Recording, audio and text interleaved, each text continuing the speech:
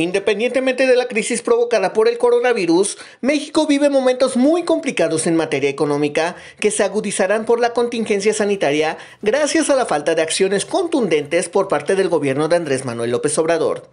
Este inicio de semana, el presidente López Obrador envió una señal muy poco alentadora a los empresarios nacionales y extranjeros con la cancelación de la instalación de la planta cervecera de Constellation Brands, mediante una consulta ciudadana donde hubo baja participación. Y es que en vez de buscar destrabar la disputa entre la empresa y algunos grupos sociales, el mandatario prefirió cortar de tajo con esta inversión, que representa una pérdida de 20 mil millones de pesos y una ruptura difícil de reparar entre la iniciativa privada y el gobierno de México.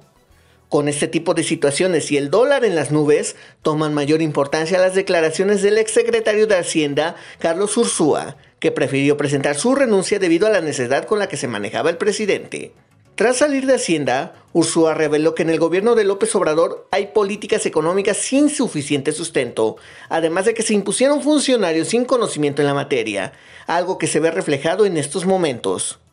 La improvisación es la carta de presentación en materia económica por parte del gobierno de López Obrador, que hará pagar a los mexicanos facturas muy caras al término de la crisis por el coronavirus.